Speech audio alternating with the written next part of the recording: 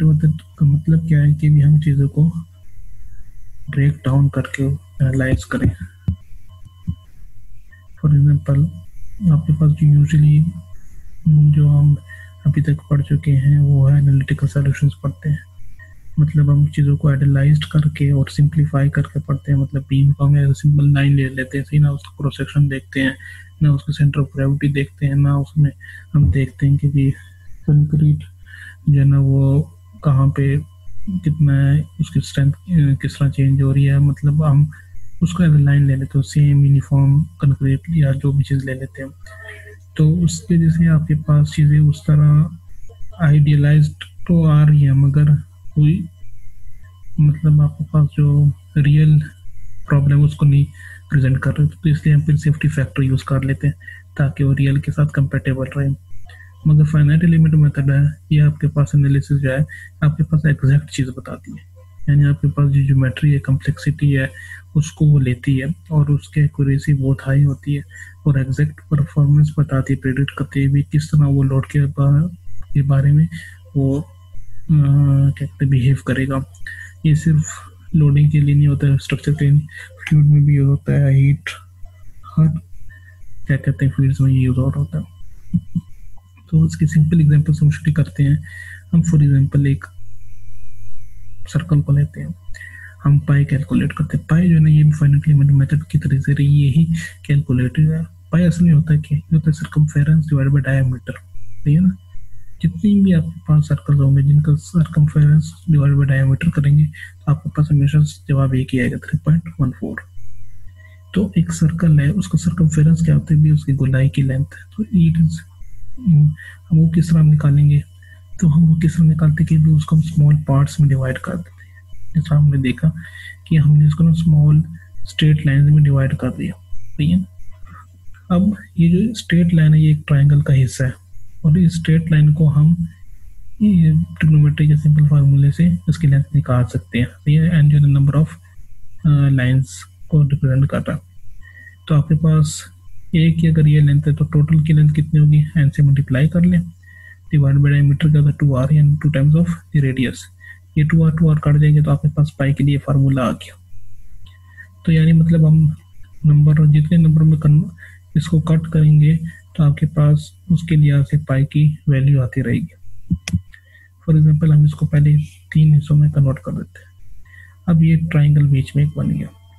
अब ये लेंथ और ये जो गुलाई की लेंथ है, ये सेम नहीं है। डिफरेंट है ना?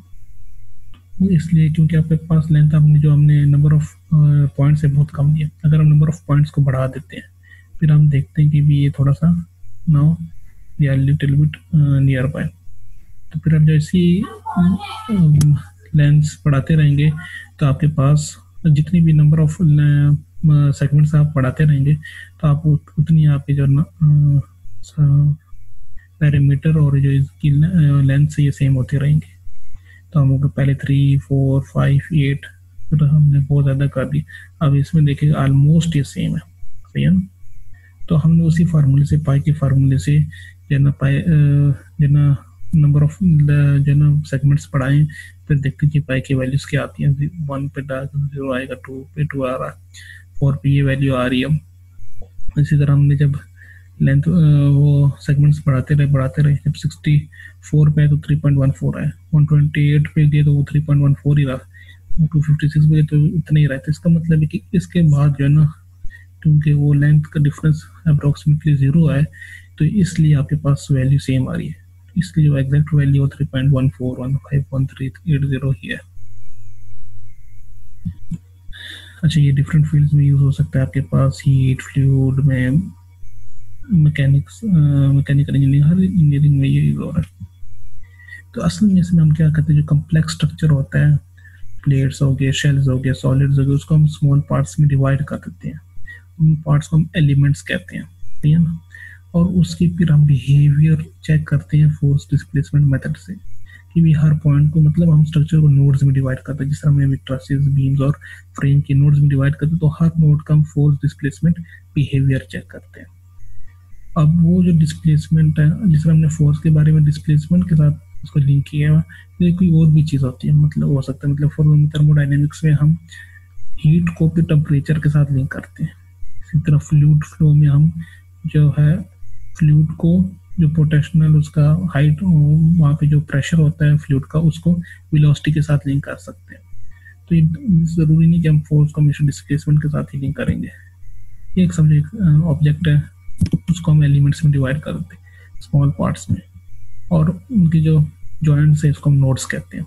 इन नोट्स के हम डिस्प्लेसमेंट्स निकालते हैं और फिर उन डिस्प्लेसमेंट से हम ना स्ट्रेसेस निकाल सकते हैं स्ट्रेन निकाल सकते हैं। अब ये जो एलिमेंट्स है, ये वन डी भी हो सकते हैं, जैसे ट्रसेस है। मतलब एक लाइन सेगमेंट हो। और ये जो आपके पास एक मेम्ब्रेन या प्लेट की फॉर्म में भी हो सकते हैं टू डी भी हो सकते हैं। और यही चीज़ आपके पास थ्री डी में भी हो सकती है, जो हम एलिमेंट्स बनाते हैं। तो ये जैसे टू डी की एग्ज़ाम्पल है, ये थ्री डी की एग्जांपल है, ये वन डी की एग्जांपल इन ट्रस फिर आपके पास ये जो फाइनल सोल्यूशन होते हैं, ये इसमें इसमें हम करते हैं क्या है कि हम एक ऑब्जेक्ट को स्मॉल पार्ट्स में डिवाइड कर देते हैं। इतने स्मॉल पार्ट्स में कि उनकी जो लेंथ है वो आप इन फाइनाइटसिमल जो होता है आपके मतलब है उसकी जो लेंथ है वो अप्रोक्सीमेटली ज़ीरो के इक्वल हो जाए। मतलब बहुत स्मॉल पार्ट्स में वो डिवाइड कर देते हैं। सही है ना? और वो हर नोट की ना हम डिग्री ऑफ़ फ्रीडम भी निकालते हैं। वो डिग्री फ्रीडम जो है डिस्प्लेसमेंट भी हो सकती है अभी तक हमने जितने भी सवाल किए उसमें डिग्री ऑफ़ फ्रीडम क्या थी? डिस्प्लेसमेंट थी। तो ये ज़रूरी नहीं है। डिफरेंट फ़ील्ड में डिफरेंट चीज़ होती है। आपके पास टेम्परेचर भी हो सकता है, या आपके पास फ्लूड के प्रेशर भी हो सकता है पोटेशनल हेड भी हो सकता है। और डिग्री ऑफ़ फ्रीडम के दरमियान, अब ये तो नोट्स के आपके पास डिग्री फ्रीडम है। इनके दरमियान जो वैल्यूज़ होती है ना, वो हम फिर इंटरपोलेशन के ज़रिए निकालते हैं। यानी हम एक एलिमेंट के लिए एक इक्वेशन बनाते हैं कि वो हर पॉइंट को रिप्रेजेंट करे। तो हर पॉइंट की वैल्यूज़ निकाल के दे आपके पास। और वो बाउंड्री कंडीशन को भी सेटिस्फाई करना चाहिए और आपके पास स्ट्रक्चर के साथ कंपेटेबल भी होना चाहिए। कंपेटेबिलिटी का मतलब क्या है कि जिस तरफ़ से भी आऊँ मैं उस पॉइंट पे आऊँ तो मेरे पास जो है ना डिस्प्लेसमेंट सेम आए। ये ना हो कि एक तरफ़ से आऊँ तो एक पाथ से आऊँ तो उसकी डिस्प्लेसमेंट डिफरेंट हो, और एक पाथ से आऊँ तो उसकी डिस्प्लेसमेंट डिफरेंट हो। फिर उसके बाद हम इसके यूजेस जिस तरह पहले बताया कि डिफरेंट जगह पे यूज़ होते हैं और उसकी वजह क्या है आपके पास कि इसमें हम डिफरेंट चीज़ निकाल सकते हैं। ये हम इसमें फ्लूड फ्लोर भी निकाल सकते हैं मैग्नेटिक वगैरह फ़ील्ड वगैरह भी हम यूज़ कर सकते हैं दूसरा ये कि कॉम्प्लिकेटेड ज्योमेट्री तो वहाँ पर हम यूज़ कर सकते हैं। अगर सिंपल लाइन हो ट्राइंगल ज़रूरी नहीं होता हर जगह ट्राइंगल हो स्क्वेयर हो, या रेक्टेंगल हो गई, या हो सकता है मुख्तलिफ़ मुख्तलिफ़ जगहों पर मुख्तलिफ़ कंडीशन हो, मुख्तलिफ़ बाउंड्री कंडीशन हो। सही ना कॉम्प्लिकेटेड बाउंड्री कंडीशन तो वहाँ पे हम फाइनाइट एलिमेंट एनालिसिस यूज़ कर सकते हैं। और कभी कभी मटेरियल बड़ा कॉम्प्लिकेटेड होता है। मतलब नॉन लीनियर मटेरियल हो। यानी लोड के साथ वो लीनियरली डिस्प्लेसमेंट नहीं शो करती। एंड आइसोट्रॉपिक को मतलब डिफरेंट डायरेक्शन में उसके डिफरेंट बिहेवियर कॉम्पोजिट यानी उसमें डिफरेंट मटेरियल्स का कॉम्बिनेशन मौजूद हो। सिर्फ़ आयरन सिर्फ़ स्टील ना हो। सिर्फ़ आपके पास कंक्रीट ना हो। कंक्रीट भी भी वन डिफरेंट चीज़ की कम्बिनेशन होती है। तो ऐसी कंडीशन में फिर हम F E finite element analysis use करते हैं। कहाँ पे यूज़ नहीं सिंपल प्रॉब्लम्स भी नहीं हो सकती जिस तरह लाइन सेगमेंट हो गया जिस तरह हम हम कर रहे होते हैं बीम्स को, कि एफ़ ई एम वगैरह बना सॉरी बेंडिंग मूवमेंट या शेयरफुल डायग्राम बनाते तो वहाँ पे F M finite element analysis की ज़रूरत नहीं है। दूसरा एक इनफाइनाइट बाउंड्री यानी एक बाउंड्री आपके पास डिफाइन ना हो, जैसे फ्लूड हो गया। सही है ना जिस एक तो फ्लूड आप पाइपलाइन में फ्लूड को एनालाइज करोगे तो तो हो जाएगा, मगर जहाँ पे आप एक जनरल बिहेवियर ऑफ़ फ्लूड आप रिवर वगैरह में आप इसको अगर देखना चाहते हो तो वहाँ पे हम एफ़ ई यूज़ नहीं कर सकते। दूसरे डिफरेंट मेथड्स यूज़ होते हैं, दूसरे मेथड्स यूज़ होते हैं। तो उससे सबसे पहले आपके पास जब ये फाइनेंशियल एनालिसिस आप शुरू करते हो उससे पहले आपको क्या पता होना चाहिए? एक तो एलिमेंट की जो मैकेनिक्स है वो पता होना चाहिए। उसकी इलास्टिसिटी उसके फ्लूड मैकेनिक्स थर्मोडाइनमिक्स हीट के साथ उसके कैसे टेम्परेचर चेंज होता है, उसके लोड के साथ किस तरह डिस्प्लेसमेंट होता है, ये चीज़ आपको पहले पता होनी चाहिए। और फिर उसके बाद जो बाकी चीज़ें चेंज होती है एक लोड कहीं पे डल रहा है तो ज़रूरी नहीं हो एक तरफ़ उसकी कंप्रेशन आएगी, दूसरी तरफ़ शायद जो फॉर एग्ज़ाम्पल एक बीम के ऊपर वर्टिकली लोड लग रहा है। अब एक साइड पर तो कंप्रेशन आ रही है, मगर उसकी विथ वाइज में क्या आ रहा है? टेंशन आ रही है। तो पॉइजन इफ़ेक्ट भी होना चाहिए आपके पास डिफरेंट इसी तरह आपके पास जो कन्वर्सेशन कंजर्वेशन ऑफ़ मैथ होना चाहिए। मतलब जितना मैथ सिस्टम से पहले था, उसी तरह, उतनी मैथ सिस्टम के बाद में होना चाहिए। और जितना एनर्जी सिस्टम से पहले था, उतनी एनर्जी सिस्टम के बाद होनी चाहिए। दूसरे बाउंड्री कंडीशन को सेटिस्फाई करना चाहिए। मतलब बाउंड्री में रोलर लगा हुआ अब वो मूव कर सकता है एक डायरेक्शन में, मगर वो रोटेट नहीं रोटेट भी कर सकता है। तो वो सब कंडीशंस को सेटिस्फाई करना चाहिए अगर फिक्स है बाउंड्री तो ना वो रोटेट कर सकता है मूव कर सकता है उनको भी सेटिस्फाई करना चाहिए। फिर हम फाइनल एलिमेंट के लिए पहले आपके पास क्या रिक्वेजिट्स होनी चाहिए कि आप कितने नंबर ऑफ़ एलिमेंट्स में उसको डिवाइड करेंगे एक्यूरेसी के लिए। जितने नंबर ऑफ़ एलिमेंट्स होंगे, में डिवाइड करेंगे, उतनी आपके पास एक्यूरेसी आएगी। सही है ना? मॉडल कन्वर्जेंस ये होता है आपके पास के भी इतने नंबर ऑफ़ एलिमेंट्स में आप डिवाइड करके, उसके बाद अगर आप डिवीज़न करें तो उसकी वजह से आंसर पे कोई इफ़ेक्ट ना पड़े। जैसे हमने पाई की कैलकुलेशन की कि हम 256 के बाद 264 तक देंगे तो उसके बाद अगर हम उनकी डिवीज़न और भी बढ़ाते रहे तो कोई फ़र्क नहीं पड़ रहा था। Consistency between the element types कि आपके पास जो आपके पास जो आप एलिमेंट्स आप बना रहे हैं, उसकी कंसिस्टेंसी होनी चाहिए। मतलब ये ना हो कि एक जगह पे आपने कोई डिफरेंट टाइप्स की कि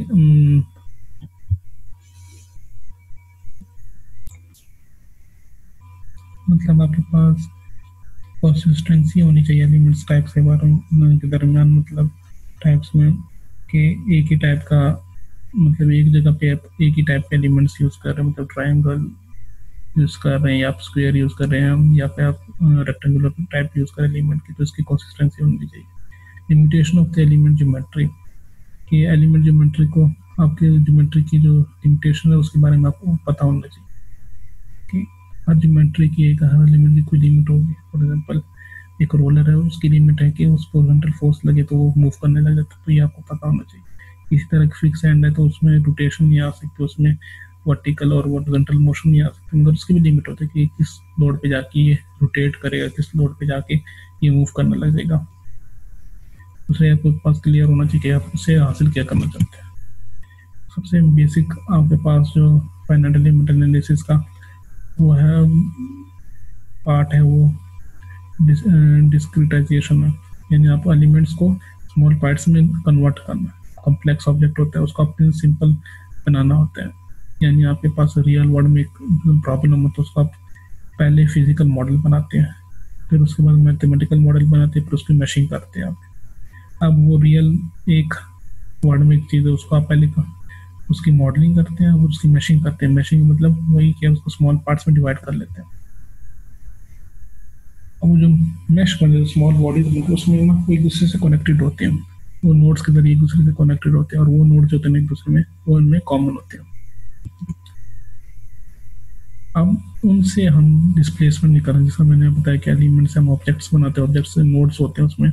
वो नोड्स हमें डिस्प्लेसमेंट देते हैं। अब ज़रूरी अब हम फॉर एग्ज़ाम्पल हमें चाहिए स्ट्रेस टेन एक बंदे ने मॉडल बनाया, मगर वो उसके लिए वो चाहते कि भी लोड लगे तो उसमें पता लगे भी इस वजह से ऑब्जेक्ट के अंदर क्या स्ट्रेसेस आ रही है, क्या स्टेन आ रहे हैं। मगर हमें तो आ रहा है डिस्प्लेसमेंट तो ये डिस्प्लेसमेंट को हम कहते हैं नोडल क्वांटिटी या प्राइमरी क्वांटिटी यानी जो डायरेक्ट आपके पास मॉडल से आ रहा हो। एक होता है सेकेंडरी क्वांटिटीज यानी उसी डिस्प्लेसमेंट से हम बाकी चीज़ें निकालें मतलब उस डिस्प्लेसमेंट से हम स्ट्रेसेस निकाल सकते हैं। उस डिस्प्लेसमेंट से हम स्ट्रेन निकाल सकते हैं डिस्प्लेसमेंट आ गए तो आपके पास स्ट्रेन किसके कोल होता है? Change in length divide by original length तो ये डिस्प्लेसमेंट से हम स्ट्रेन निकाल सकते हैं। और स्ट्रेस किसके कोल होता है? वो होता है elastic elastic elasticity into strain तो इससे आपके पास स्ट्रेसेस भी आ जाती हैं। उसके एडवांटेज ये है कि हम रेगुलर बाउंड्रीज हो जनरल लोड्स कोई भी टाइप का लोड हो, आपके पास डिफरेंट मटेरियल यूज़ हो रहे हो, आपके पास different type of boundary condition हो वेरिएबल एलिमेंट साइज़ हो, आपके पास डायनेमिक्स हो नॉन लीनियर हो तो उसके लिए हम ये यूज़ कर सकते हैं।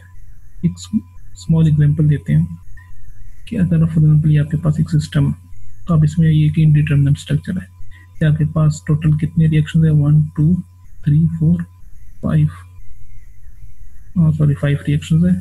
और आपके पास थ्री इक्विलिब्रियम की इक्वेशन ये गलती है, या बाद में सही कर दूँगा मैं।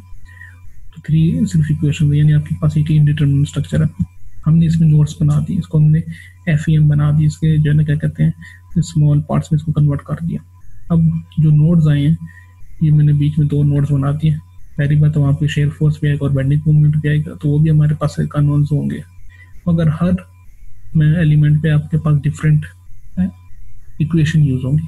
तो आपके पास टोटल कितनी इक्वेशन हो जाएँगी वन टू थ्री आपके पास इसके लिए भी थ्री इसके लिए भी थ्री इसके लिए three total nine equation use होंगे और अननोन्स कितने one two three four five six seven eight nine nine unknowns और नाइन आपके पास इक्वेशन इसका मतलब हम इसको सॉल्व कर सकते हैं बाय फाइनाइट एलिमेंट एनालिसिस जितने भी कॉम्प्लेक्स स्ट्रक्चर होते हैं वो इसी पे ही बनते हैं। उसी को देखा। ये तो मैंने वैसे आपको स्मॉल उसको बताया कि इससे आपके पास सिर्फ़ जो नोड्स है उसी की डिस्प्लेसमेंट आ रहे हैं। अगर हम इसका ओवरऑल डिस्प्लेसमेंट देखना चाहते हैं कि लोड के साथ किस तरह डिस्प्लेस कर रहे हैं तो हम इसको फिर स्मॉल मैशेज में कन्वर्ट कर देते हैं।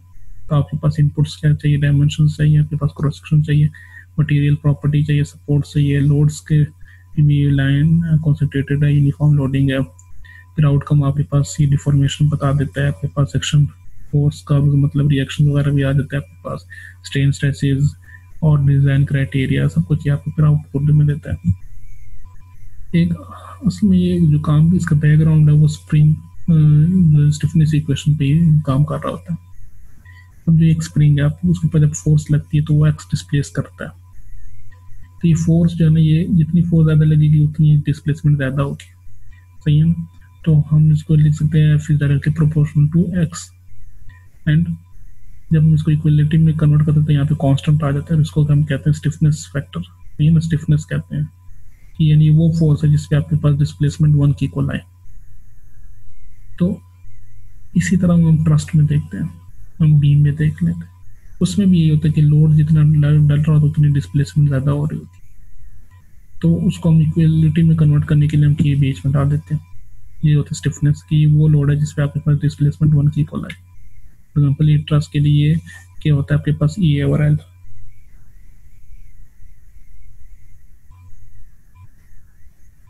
और अगर आपके पास एक से ज़्यादा आपके पास एलिमेंट्स हो ना तो आपके पास उतनी ये के की फैक्ट जो है ना वो ज़्यादा हो जाएगा। यानी उसके उसकी जो डायमेंशन असल में क्या होता है? Degree freedom by degree freedom हमने जितने भी, सवाल किए उसमें जो आपके पास डिफरेंस फैक्टर आता है उसकी कितनी डायमेंशन होती है? डिग्री ऑफ़ पे डिपेंड करता है। कि भी जितनी डिग्री ऑफ़ फ्रीडम होते हैं किसी भी प्रॉब्लम में, उतनी उसकी डायमेंशन होती है। तो इसमें आपके पास वही एफ़ इजिकल टू के के यू मतलब F equal to k d u मतलब ये फार्मूला यूज़ होता है इससे हम डिस्प्लेसमेंट अनोन से ना कि हम उधर जाके इन्वर्स हो जाता है डिस्प्लेसमेंट हम निकाल लेते हैं। और फिर जब आपके पास डिस्प्लेसमेंट आ जाए तो इस ज़रिए हम स्ट्रेन निकाल लेते हैं, और स्ट्रेन जब आप आपके पास है तो हम स्ट्रेसेस निकाल सकते हैं। और इसी के बिना पर हम जो है degree of sorry factor of safety भी निकाल सकते हैं। तो इसको हम कहते हैं सेकेंड नोडल क्वांटिटीज यानी फ़र्स्ट जो नोडल क्वांटिटीज वो तो जो डायरेक्ट आपके पास मॉडल से आ जाती है सेकेंड नोडल क्वांटिटी जो उस प्राइमरी यानी फ़र्स्ट ऑर्डर क्वांटिटी से जो हम चीज़ें निकालते हैं, उसको हम सेकेंड ऑर्डर क्वांटिटीज कहते हैं। तो हम एक्चुअली जो solid parts of the players होते शेल्स होते हैं, उसको हम स्मॉल एलिमेंट्स में कन्वर्ट कर देते हैं। और उनकी डायमेंशन हमें पता होती है। फाइनाइट डायमेंशन में कन्वर्ट कर देते हैं उसको और फिर उसकी हर जो एलिमेंट होता है, वो एक स्प्रिंग को रिप्रेजेंट कर रहा होता है। वही F is equal to k u तो उन सबको फिर हम मिलाते हैं और एक पूरे प्रॉब्लम को कम्प्लेक्स प्रॉब्लम को सॉल्व करते हैं। इन किस तरह मिलाते जिस तरह हम सवालों में मिलाते थे। नहीं ये यहाँ पे जिस तरह मिलाया हुआ। ये कभी एग्ज़ाम्पल करते हैं। तो ये मिलाना होता है। इसको हम कहते हैं वे ऑफ़ स्टेकिंग ब्लॉक्स तो बेसिक टू स्टेप्स होते हैं कि पहले आप स्टिफनेस इक्वेशन बनाएँ हर एलिमेंट के लिए और फिर उसके बाद उनको मिलाएँ तमाम स्टिफनेस इक्वेशंस को मिलाएँ, उसको हम कहते हैं वे ऑफ़ स्टेकिंग ब्लॉक्स समझो हमारे पास एक सिस्टम है, जिसको हम जिसमें थ्री नोड्स बनाए और टू एलिमेंट्स बनाए। हम समझो ये जो एक एलिमेंट है, एक स्प्रिंग सिस्टम को प्रेजेंट कर रहा है। इसका स्टिफनेस फैक्टर है, इसका स्टिफनेस है वो के वन और इसका स्टिफनेस है के टू तो यहाँ पे जो डिस्प्लेसमेंट है वो होगी एफ़ वन समझो यहाँ पे फोर्स लग रही है यहाँ पे डिस्प्लेसमेंट है यू वन यहाँ पे फोर्स लग रही है एफ़ टू और यहाँ पे डिस्प्लेसमेंट है यू टू यहाँ पे ये डिस्प्लेसमेंट और यू यू थ्री और फोर्स लग रही है एफ़ थ्री तो अगर एलिमेंट वन यानी मेंबर नंबर वन की बात करते हैं. तो यहाँ पे एक इक्वेशन बनती है ये स्टिफनेस है. क्योंकि के वन सिर्फ़ यहाँ पे इन्वॉल्व होता है ये के वन ही आ रहा है. टू बाई टू का क्यों कि यहाँ एक यहाँ पे डिस्प्लेसमेंट हो रही है यहाँ पे डिस्प्लेसमेंट है। दो टोटल डिस्प्लेसमेंट है तो टू की एक। वो आपके पास स्टिफनेस फैक्टर वो स्टिफनेस इक्वेशन बन गया आपके पास। ये आपके पास यू वन यहाँ पे डिस्प्लेसमेंट है यू टू यहाँ पे डिस्प्लेसमेंट है। तो इसकी नंबरिंग किस तरह होगी? वन टू वन टू इस हम पहले सवाल में करते हैं। मेंबर नंबर टू में हम जाते हैं एलिमेंट नंबर टू में। मेंबर और एलिमेंट एक ही बात है। तो इसमें आपके पास कौन कौन से नोड यूज़ हो रहे हैं? टू और थ्री यूज़ हो रहे हैं। तो यहाँ इसका स्टिफनेस फैक्टर के टू होता है, ये वाली स्टिफनेस फैक्टर यूज़ होगा। तो आपके पास ये उसके लिए इक्वेशन बन गया एलिमेंट नंबर टू के लिए। अब हम इसको मिलाते हैं, इसको कहते हैं stay way of stacking blocks अगर हम इनको जब मिला के, मिला, इनको मिला, मिलाते हैं तो हमें पता लगता है कि ये वाला जो टू पॉइंट है, दोनों में कंबाइन है, दोनों में शेयर हो रहा है। यानी आपके पास यहाँ पे जो फोर्स दोनों की फोर्स है ना, वो ऐड होगी। है तो अगर हम देखें तो ये आपके पास ये वाली मैट्रिक्स थी एलिमेंट नंबर वन के लिए और ये वाली मैट्रिक्स थी एलिमेंट नंबर टू के लिए। इसमें टू थ्री इन्वॉल्व हो रहा था जिसमें वन टू इन्वॉल्व इनको हमने अब कंबाइन किया तो आपके पास पूरे सिस्टम की एक इक्वेशन बन गई आपके पास एक मैट्रिक्स बन गई मैट्रिक्स फॉर्म जिसको हम सवालों में करते हैं, इसको कहते हैं असम्बली अब इसको असम्बली करने के दो तरीके हैं। एक तो ये कि भी इस तरह, जिस हमने सवालों में किया इस तरह अलग अलग से इनकी मैट्रिक्स बनाए और दोनों को ऐड करते हैं। हम इनमें देखते हैं कि कौन कौन सा है। इसमें टू बाई टू कॉमन है। तो टू बाई टू जो ना यहाँ पे ऐड होगा। बाकी ज़ीरो हो जाएगा। दूसरा तरीका है कि हम हर मेंबर के लिए जो स्टिफनेस फैक्टर्स बनाते हैं वो a, a three by three का ही बनाए कि भी टोटल इसमें आपके पास कितने डिग्री ऑफ़ फ्रीडम है? वन टू थ्री सही है ना? तो हम थ्री बाई थ्री का हर मेंबर के लिए बनाया। अब मेंबर नंबर वन पे जो है, उसमें सिर्फ़ टू नोड्स इन्वॉल्व होते वन एंड टू तो वन और टू के नंबर आ जाएँगे, बाकी तीन हो जाना वो ज़ीरो आ जाएँगे। अब अगर एलिमेंट नंबर टू में देखें तो उसमें सिर्फ़ नोड नंबर टू और थ्री यूज़ हो रहा था। तो उनकी वैल्यूज़ आ रही हैं, और बाकी वैल्यूज़ क्या हो जाएँगी? ज़ीरो हो जाएँगी। अब इनको ऐड करना आसान है। यानी अब इसमें देखें, यही कॉमन आ रहा है आपके पास। Two by two two by two इसकी जगह आपके पास ये आ जाएगा, इसकी जगह ये आ जाएगा थ्री की जगह ज़ीरो आ जाएगा, यहाँ पे भी ज़ीरो आ जाएगा। सिंपल आप ऐड कर दें। मैंने दोनों के डायमेंशन आप सेम रखे हमेशा। जो वैल्यू मतलब इसके लिए भी थ्री बाई थ्री का बना है, इसके लिए भी थ्री बाई थ्री का बना है। यहाँ पे समझो, अब three three node number three node use नहीं हो रहा तो उसकी वैल्यू हम ज़ीरो रखेंगे। इस तरह यहाँ पे रखा। इसी तरह यहाँ पे आपके पास नोट नंबर वन यूज़ नहीं हो रहा तो उसकी वैल्यू ज़ीरो रखें। तो एक तरीका तो ये है। तो कंपेटेबिलिटी तो आपके पास जो स्टेकिंग हम करते हैं, यानी आपके पास उनको जो मिला लेना है, उसको, वो भी ना कुछ पॉइंट्स को सेटिस्फाई करना ज़रूरी है उसको। उसके पहले तो एक कंपेटेबिलिटी रिक्वायरमेंट कि आपके पास जो जो शेयर नोड्स हैं, उनकी डिस्प्लेसमेंट हमेशा इक्वल होनी चाहिए। ये नहीं होनी चाहिए एक तरफ़ से उसकी डिस्प्लेसमेंट तो डिफरेंट आ रही है और दूसरी तरफ़ से उसकी डिस्प्लेसमेंट डिफरेंट आ रही है। एक तो इसको सेटिस्फाई करना चाहिए। यानी जो कॉमन पॉइंट्स है, उसको, उसकी वैल्यूज़ की सेम लेनी चाहिए। दूसरे की इक्विलिब्रियम को सेटिस्फाई करें, तीसरे की बाउंड्री कंडीशन को सेटिस्फाई करें। इसके बाद जो है प्रोसीजर है, कि किस तरह एफ़ प्रोसीजर है। हम नेक्स्ट क्लास करेंगे